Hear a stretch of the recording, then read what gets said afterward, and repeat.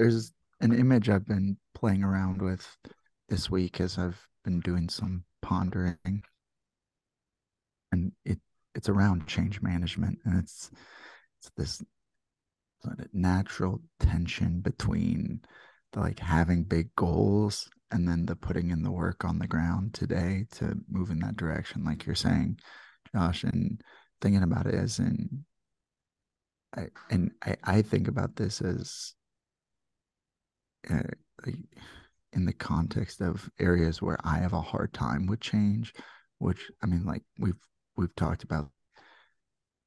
For me, like food is like my relationship with food remains something that's like a challenge. Even as I'm preparing for this race, I'm now like running 40 plus miles a week without too much trouble.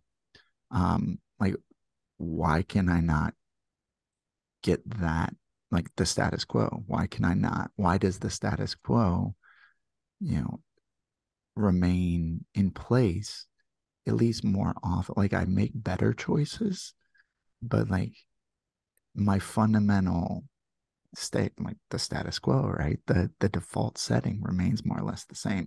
And what i've been thinking about is this idea of like a future version of myself out there in time having done the thing, like achieved that that big goal, almost like dropping a string back in time to where we are today, like to my version of myself today.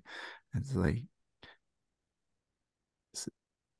then say, okay, like grab onto the string, and it's like, can that future version sort of like pull me as I sort of pull, you know, take those steps and with the accountability adding to the metaphor, having guys like kicking me in the ass to like, you know, keep me moving forward.